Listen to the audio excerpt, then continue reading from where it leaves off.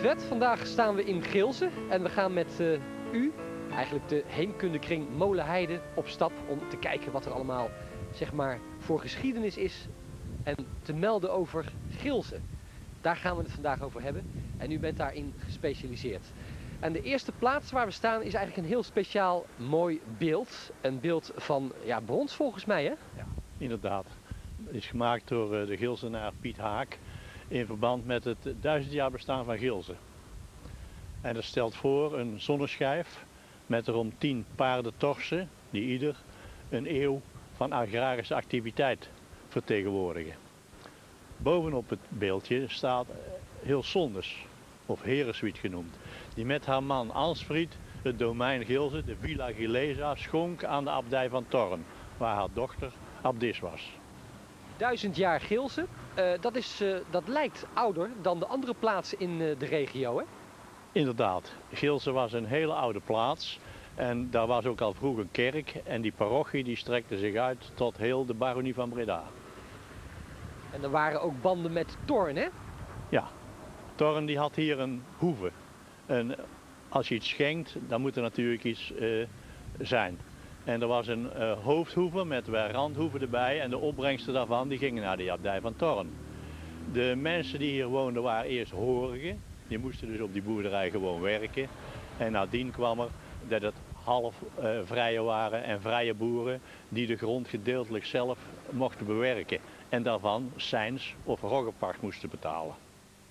Dat was uh, eigenlijk feitelijk een grote afstand hè, tot Torn, want Torn lag in de buurt van Maastricht hè? Ja, dat klopt. Dat ligt in Limburg. En uh, dat was een heel ver afstand. Maar waarschijnlijk omdat die band dat hun dochter daar was uh, schoongezet. Want zo'n abdij moest ook inkomsten hebben. Dan staan we hier bij dit, uh, dit mooie beeld. Een heel apart soort beeld. waar gaan we zo meteen naartoe?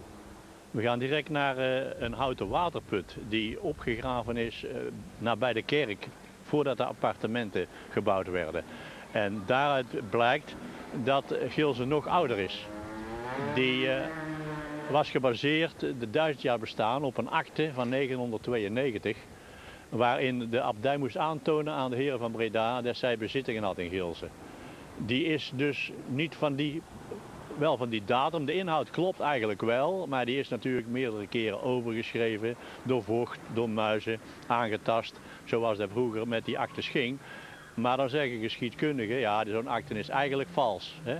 Maar de inhoud blijkt toch juist te zijn. En, die twijfelde natuurlijk of de Gilse wel duizend jaar bestond. Maar dan kunnen we direct bij de waterput zien dat het wel degelijk is. We gaan naar de waterput. Inmiddels uh, zijn we met uh, Jan de Vet aangekomen bij de oudste waterput, nou ik mag toch wel zeggen, in de hele regio denk ik hè? Ja inderdaad, het is een hele grote waterput. In 1994, dus twee jaar na het duizend jaar bestaan, kwam er een terrein vrij naast de kerk in de Kerkstraat. Daar moesten appartementen gebouwd worden. En de Heemkring die heeft toen aangekaart om daar eens opgravingen te doen. Omdat Gilse zo oud was, zou het dus toch, als er bewoning was, kort bij de kerk moeten zijn. En inderdaad, van de Universiteit van Amsterdam zijn ze gekomen. Eerst met een proefsleuf en daarna dus een hele opgraving gedaan. De, het resultaat was dat er dus eerst paalgaten gevonden werden van boerderijen over elkaar heen. Dus niet duidelijk één, meerdere hadden op die plaats gestaan. En een aantal scherven en daaruit bleek dat Gilse dus nog ouder was dan duizend jaar. Dat we wel wat terug kan gaan tot aan de negende eeuw. Maar het mooiste, op een gegeven moment tekende zich in die grond een cirkel af, een, van donker. En dat bleek een waterput te zijn. En die archeologen die laten naar zo'n waterput, ja als je moeilijk had, gaat toch zitten, maar de Heemkring wilde hem wel graag uit hebben. En met heel veel moeite is op een zaterdag voormiddag die put eruit gehaald. Helemaal in de klei zat hij. En vandaar dat hij vochtig geweest is en goed gebleven is. Meer dan duizend jaar oud, of bijna duizend jaar oud. En nu is hij hier te zien, hè? Ja. Hij heeft een aantal, uh, een anderhalf jaar denk ik te drogen gelegen. Uh, moest langzaam opdrogen in de schaduw. En toen hebben we met de gemeente uh, kunnen komen tot een soort vitrine hier op het plein.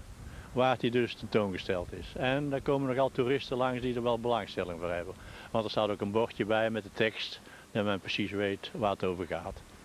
Via deze weg blijven we aandacht besteden vandaag aan de geschiedenis van Geelse. Want ja, wat is de volgende stap in Regio Tour? Nou, dan gaan we naar de kerk toe. Want die abdij van Torren die had ook het, eh, de plicht om te zorgen dat er een kerk was voor de bewoners. En de, die kerk moest ook onderhouden worden. En daar gaan we dus uh, naartoe kijken. Ik ben benieuwd. Nou zijn we hier in uh, Geelse aangekomen bij de enigste kerk met een heel verhaal erbij.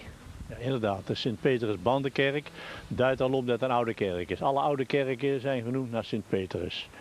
Hier op deze plaats moet altijd al een kerk gestaan hebben, een kerkje waarschijnlijk. Want Torn die had ook het recht van de tiendheffen. Het tiende part van de graanopbrengst van de akkers was voor Torn bestemd. Voor dat dij van Torn. Daar had ze ook verplichtingen tegenover. En ze moest zorgen dat er een kerkje was voor de mensen. Dat de pastoor werd onderhouden. Die heeft nogal wat meegemaakt. In de 80-jarige oorlog is die keer door soldaten in brand gestoken. En pas vele jaren later, nadat Torren daarvoor geld beschikbaar gesteld had, is hij opgebouwd. Achter mij is de oudste gevel, de Noordzijgevel. Daarbovenin staat het jaartal 1617. Het jaar wanneer die kerk weer helemaal herbouwd was. Aan het einde van de 80-jarige oorlog moesten de kerk afstaan aan de gereformeerden. Zoals overal in Brabant. En moest men zich behelpen met de schuur als kerk. Eerst in het geheim en daarna tegen betaling van stoorgelden.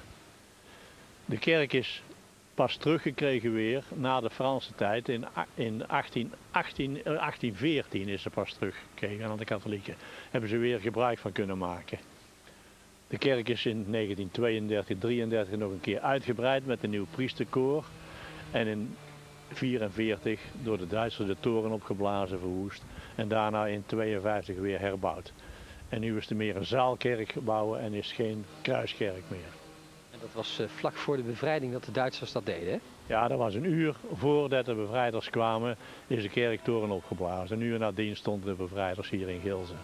Waarom uh, werd dat nog gedaan op het laatste moment? Ja, om uitkijkposten, om oriëntatiepunten. Maar ik denk toch meer dat het om vernieling ging. Dat ik daar zo kijk. Want in Geel zijn ook een paar molens. En de toren van het raadhuis en de watertoren al een paar weken van tevoren opgeblazen. Dus. Van hieruit gaan we naar die oude kerkschuur, hè? Ja, we gaan naar een oude kerkschuur die tijdelijk gebruikt is voor nood. Maar daar kunnen we het direct dan over hebben. We zijn aangekomen bij deze oude kerkschuur uit 1647. Ja, inderdaad. Deze schuur, voor zover we weten, heeft maar kort dienst gedaan. Maar in 1648, bij het einde van de 80-jarige oorlog, moesten de katholieken de kerk afgeven aan de gereformeerden. Die zijn er hier altijd maar een, een twintigtal geweest. Maar ze mochten de katholieke godsdienst niet meer uitoefenen. Dat moest dus in het geheim gebeuren in het begin. Daarna, tegen betaling van de gelden, mochten ze wel diensten houden in een schuur. Het mocht niet op een kerk lijken. Die schuurkerk die heeft altijd gestaan aan de noordrand van het dorp, ongeveer waar nu de update van Torenstraat is. Maar toen in 1762 die eh, schuur slecht was, toen mochten ze die herbouwen.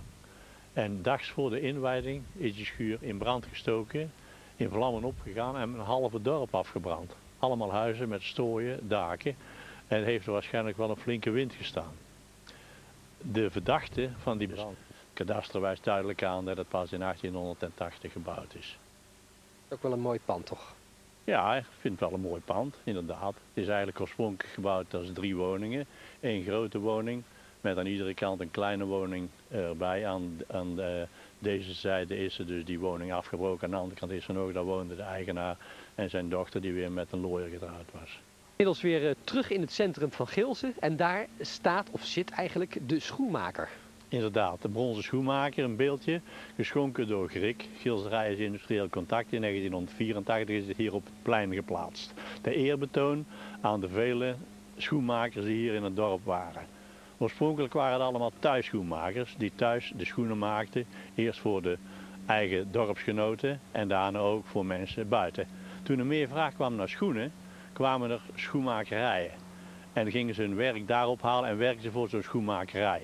Thuis maakten ze nog de schoenen, leverden daar weer zaterdags af en ontvingen dan hun loon daarvoor. Toen er meer machines kwamen, toen gingen die bewerkingen langzaamaan gedeeltelijk weer in die schoenmakerijen gebeuren en gedeeltelijk thuis. En zo ontstonden eigenlijk langzaamaan schoenfabrieken. Daar alle bewerkingen aan zo'n schoen machinaal gedaan konden worden. En waren die schoenmakers thuis niet overbodig.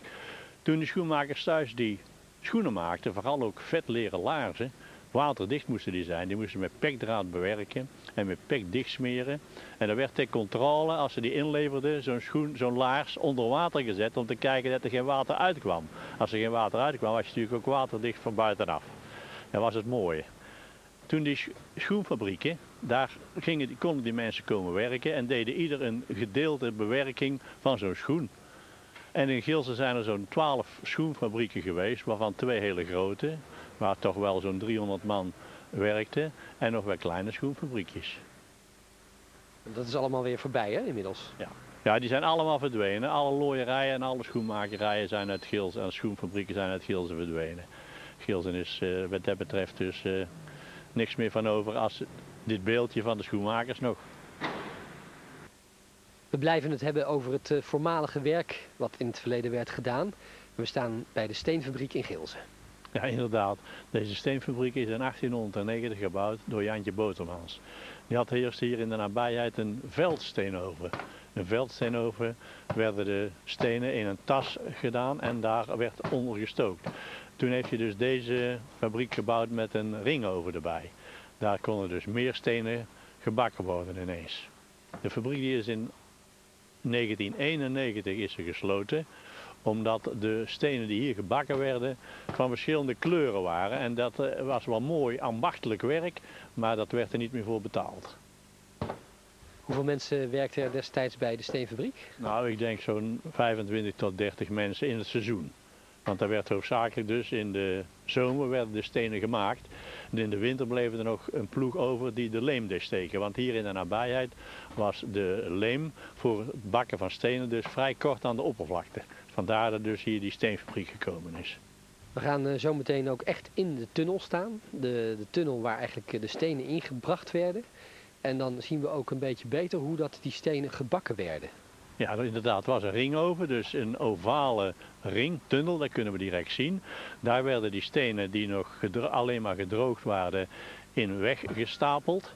En dan werd een gedeelte werd er dan gebakken en eh, draaide men zo met de wijzers van de klok mee uh, telkens nieuwe stenen bakken. En als ze afgekoeld waren, werden ze weer naar buiten gereden door die gaten die aan de zijkant in die oven zijn. Er is uh, inmiddels een nieuwe missie met deze voormalige steenfabriek. Wat gaat ermee gebeuren? Ja, inderdaad. Die wordt helemaal gerestaureerd door architect Vermeer. En die gaat daar zijn architectenbureau in onderbrengen. En in de, achter de steenoven worden enkele woningen gebouwd krijgt weer een uh, nieuwe functie. Ja, krijgt een nieuwe functie en daar is de Heemkring heel blij mee. Inmiddels staan we midden in het hart van de steenfabriek en we staan in de ringoven, in de steenoven, waar de stenen gebakken werden. Ja, inderdaad. Het is een, eh, een boogvormige tunnel in ovaalvorm met openingen aan de buitenkant. En daar werden vroeger de stenen die gedroogd waren op de kruiwagen naar binnen gereden en tot boven toe volgestapeld een gedeelte. Dan werd er aan de, aan de andere kant werd er dus gestookt, heel flink gestookt, totdat die stenen goed gebakken waren. Er waren boven gaten in, waar de stoker kon zien hoe ver het proces van bakproces was. Daarna werd dus de volgende steenhoop weer gebakken. Dus dat ging zo in een rij door. En als die afgekoeld, de gebakken stenen afgekoeld waren, werden ze weer naar buiten gereden en dan werden ze gesorteerd op kleur. Ging dat uh, dag en nacht door of alleen ook overdag? Nee, het stenen bakken, dat ging, uh, de oven die was dag en nacht uh, brandde niet. Maar het inrijden van de stenen gebeurde natuurlijk alleen maar overdag. Zomer en winter. Alleen het maken van de stenen, dus van leemstenen maken, was vroeger al alleen zomerwerk, seizoenwerk. We gaan eens rondkijken hier in deze fabriek, zodat we een betere beeld krijgen hoe dat vroeger was om te werken in zo'n fabriek. Ja, want achter de fabriek is nog een werkplaats gebouwd die nou op het moment ook in verval is en afgebroken gaat worden. Waar de stenen dus automatisch gevormd werden en in droogkasten gedroogd werden en niet meer buiten op het plein. Ja, rechts van de fabriek, vanuit onze positie gezien dan, waren ook nog uh, drogerijen om de stenen te laten drogen. Ja, er waren droge loodsen, hele lange loodsen met een beetje riet waar de wind door kon waaien, maar waar ze dus regenvrij waren. De eerste werden ze in de zon gedroogd. Eerst platgelegd, dan op een kant gezet en dan binnengereden in die uh, loodsen om verder te drogen totdat ze gebakken konden worden. We zijn inmiddels aangekomen in de Nieuwstraat in Gilze en we staan bij Malerij Het Stoom anno 1892. Ja, inderdaad. Het graan waar op de akkers verbouwd werd, moest vermalen worden tot meel voor het brood te bakken of voor veevoeder. In 1356 stond er een windmolen op het moleneind. Dat was de enige in de gemeente. Die was van de heer van Breda. Die werd om de drie jaar verhuurd. Maar alle mensen waren verplicht om daar te laten malen. Dan was de pachter was verzekerd van een aantal klanten. Die molen is in uh, twee keer op het eind van de 18e eeuw afgebrand. En nadat hij de tweede keer afgebrand was, heeft die molenaar deze stoomgemaal hier weggezet. Werd aangedreven dus door een stoommachine. Was je niet meer afhankelijk van de wind. Want een windmolen kan alleen maar malen als er rustige wind is. Bij storm kan hij bijvoorbeeld ook niet malen. En als er geen wind is ook niet. In Geels waren meerdere windmolens, maar er zijn er twee van door de Duitsers opgeblazen en één is er afgebrand. Dit is nog het enige maalderij die over is gebleven, maar niet meer in gebruik is. Wat is er nu uh, de status van? Het is monument, hè? Ja, het is een gemeentemonument geworden. Dat betekent dus dat de eigenaar het in deze staat moet laten. Mag er niks aan verbouwen zonder dat je daar toestemming geeft voor de gemeente. Ik hoop dat het nog eens een keer een bestemming krijgt dat een beetje opgeknapt kan worden. Mooie nog wel is misschien om te vertellen dat toen de stoommachine hier stond, dat was dus na de wind de, de, volgende aandrijving, want daarna krijgen we dieselmotoren en elektromotoren waar het mee aangedreven werd. Met die, stoommachine hadden ook de gezamenlijke looiers in Gilze hadden hier een walsmachine staan om het zoleer een beetje vaster te krijgen. Er werd daar gewalst en die kwamen hier met hun leren naartoe. En als tegenprestatie mocht dan de molenaar van dit stoomgemaal de eikenschors malen. Want het looien werd gebeurd met eikenschors, gedroogde eikenschors, die in stukjes gehakt werd. En die werd dus op de stenen vermalen tot een soort grove tabak en dat werd daar run genoemd. En daarmee werd gelooid. Waar gaan we van hieruit uh, nog verder naartoe, Jan? Nou, ik denk dat we nog een keer gaan kijken naar het oude gemeentehuis. We gaan het hebben over de gemeentehuizen van uh, Gilze. Want die zijn er en er zijn een aantal gemeentehuizen geweest, uh, waaronder deze. En daar weet je alles van, Jan. Ja, er zijn zes gemeentehuizen geweest in de gemeente Gilze en Rijen. En uh, zes hebben er in Gilze gestaan en de zevende staat nu op Rijen. Dit hier achter mij is het raadhuis geweest van 1921 tot 1939. Oorspronkelijk was het een slagerswinkel met herberg. En daarna een jongenspatronaat en toen heeft de parochie geruild met de gemeente. En de gemeente heeft er dus een gemeentehuis van gemaakt. En op het gemeentehuis, het oude raadhuis, is ook het wapen nog aangebracht, hè? Ja, daar is ondertussen nog het wapen aangebracht van de gemeente Sint-Petrus met de sleutel. Op het moment is dit gebouw in gebruik bij de Heemkring en bij de dagopvang. Dan gaan we ook nog eh, kijken naar andere gemeentehuizen die uh, gebruikt zijn in het verleden. Ja. Gilse had na in 1939 een heel mooi nieuw gemeentehuis, meer in het noorden van Gilse, richting Rijen eigenlijk. De bedoeling korter bij Rijen en bij Hulten en Molenschot. Dat is dus in 1944 door de Duitsers dus opgeblazen. En uh, toen hebben ze gebruik gemaakt van de burgemeesterwoning tegenover dit raadhuis. En daarna het, uh, in de Villa Mol. En daar gaan we nou naartoe.